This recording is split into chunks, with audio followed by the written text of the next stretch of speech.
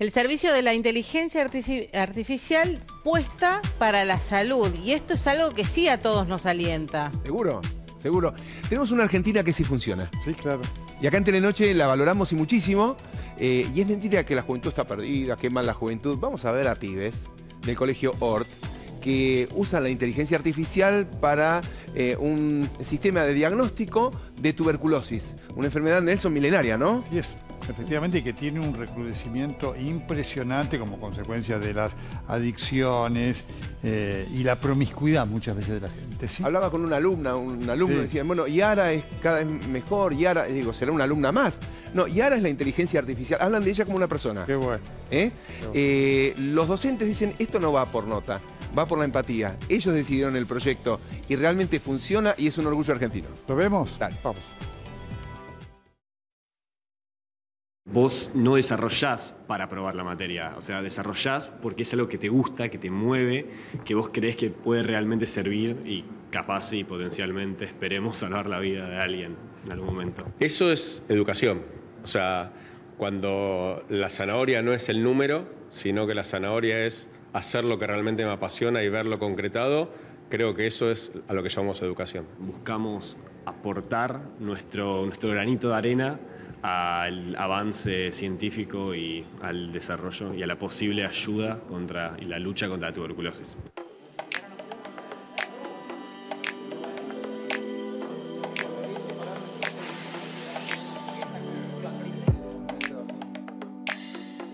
De este lado del mundo, la tuberculosis es un tema de salud pública muy importante.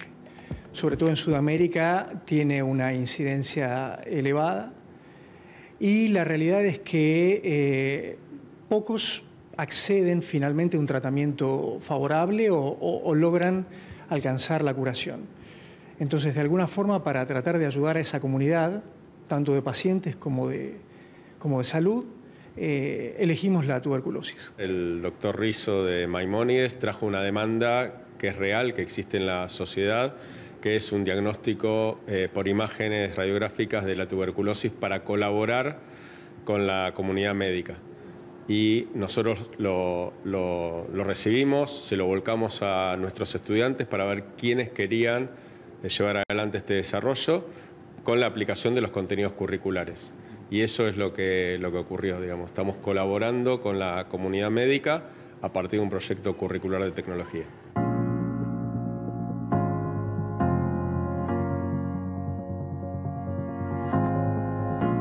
Lo que hace Yara es, mediante distintos algoritmos de inteligencia artificial, analizar eh, imágenes de radiografías torácicas que ya tienen su diagnosis hecho de si tienen tuberculosis o no.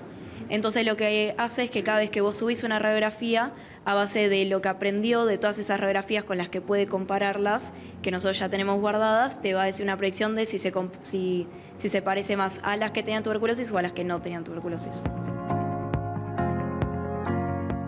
No reemplaza al médico. No, no, no. Jamás. En realidad, este, la- el vínculo humano no debe perderse nunca porque es la esencia de la medicina y la esencia del ayudar al prójimo. Eh, pero ayuda muchísimo a poder diferenciar la tuberculosis de otras patologías torácicas cuando de repente no hay un radiólogo cerca.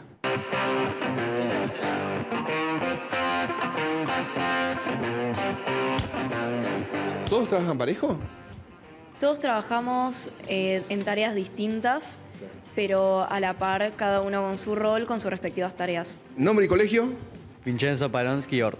Daniel Ort. Ignacio Vigilante. Micaela Viegas. Ignacio Pardo. Facundo Vázquez Ort. ¿Cuál es tu tarea con Yara? Eh, yo me encargo de que podamos trabajar en, en todos juntos para poder eh, generar un producto mejor. ¿Funciona bien el equipo? Sí, funciona bien. ¿Es como la selección? Sí. ¿Sí? Mejor. ¿Quién sería ese? Pero cerca, cerca. Desde el año pasado le vienen metiendo un montón y este año también a pisar el acelerador con todo lo que le vienen diciendo la, la comunidad médica para mejorar. La verdad es un grupo muy interdisciplinario. Hablaste con gente que se encargó del front, gente que se encarga del diseño. Eh, es un excelente ejemplo de cómo buscamos trabajar.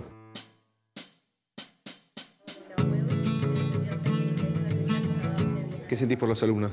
Orgullo, mucho orgullo, un montón. Alegría.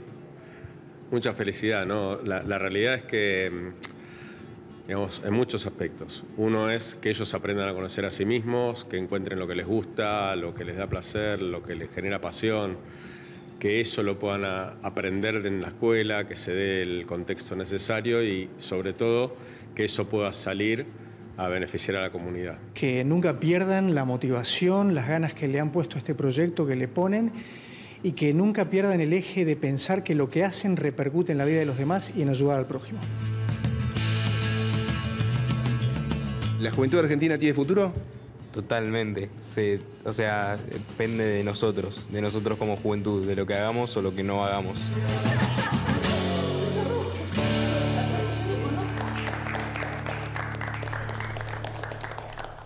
Fantástica nota, ¿eh? Bueno, eh, la India tiene alguna descripción de, de la tuberculosis hace 3.300 años. China hace unos 2.300 años. Eh, Robert Koch describe la tuberculosis en 1882. Y ahora resulta que hay una página argentina escrita con acento argentino y con un nombre y apellido de inteligencia artificial, Yara.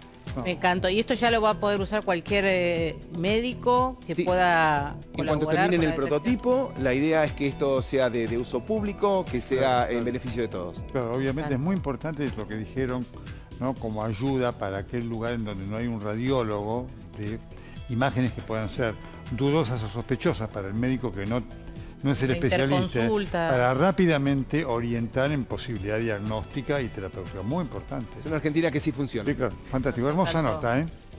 Gracias, Guille. Perfecto. Ya está Carlos.